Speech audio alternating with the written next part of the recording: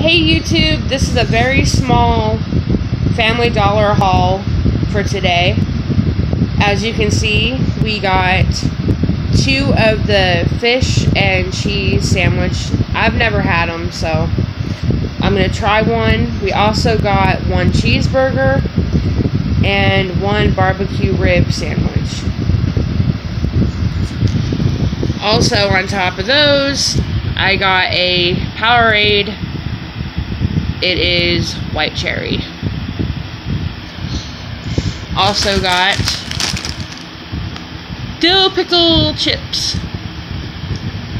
Actually, I'm weird because I don't like pickles, but I like dill pickle chips. I know I'm odd.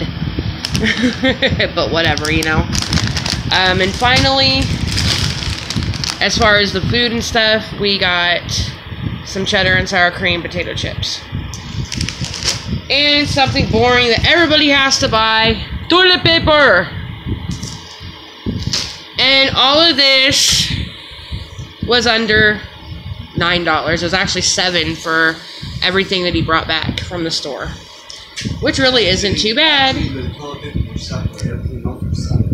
Well, well, I'm combining it, so hush.